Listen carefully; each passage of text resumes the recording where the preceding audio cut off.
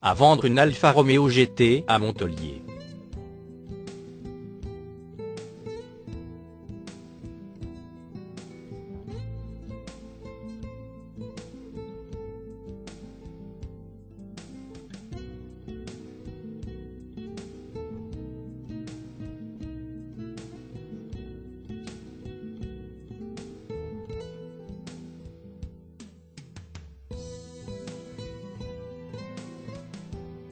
Pour plus d'informations, cliquez sur le lien dans la description.